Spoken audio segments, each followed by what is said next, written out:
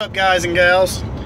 Um, I was thinking about something today. Uh, I know the holidays are coming up and um, you know for the ones that are out there you know they're, they're trying to watch their calories and watch their macros and you know they're trying to diet and um,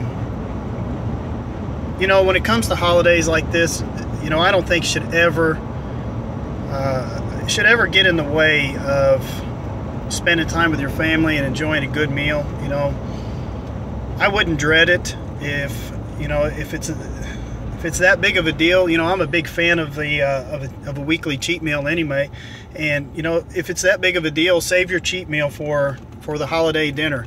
Um, you know, you're not going to get fat in one day or gain a bunch of weight. Um, chances are, you know, if you do eat a big meal, you may gain, you know, three or four pounds. But you know, honestly, it's probably just water retention.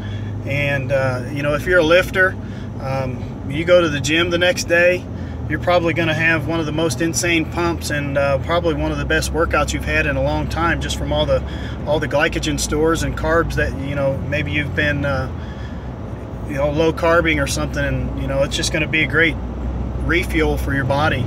But you know, don't let a a diet or you know your your meal plan interfere with your uh, you know your Thanksgiving and Christmas dinners. You know, sit down with your family and enjoy it.